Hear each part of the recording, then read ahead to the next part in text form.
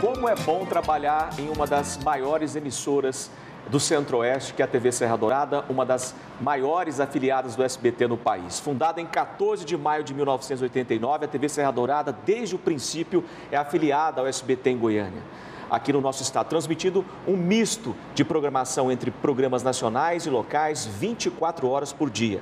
Assim que foi inaugurada, a Serra Dourada entrou no ar com os programas informativos Serra Dourada e TJ Goiás, né, Luciana?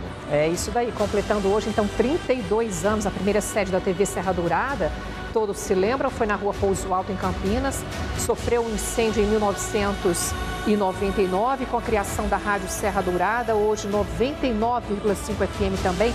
Era necessário ampliar a sede e não mais possível ficar em Campinas. E aí nós nos mudamos aqui para o Jardim Goiás, com maiores estúdios e uma estrutura, incluindo inclusive um teatro. E desde já nós agradecemos essa parceria que já dura 32 anos. TV Serra Dourada. Prazer em fazer parte de toda essa história. Com muita honra fazemos. E com essas imagens nos despedimos. Muito obrigado, Goiânia. Muito obrigado, Goiás. Muito obrigado, TV Serra Dourada.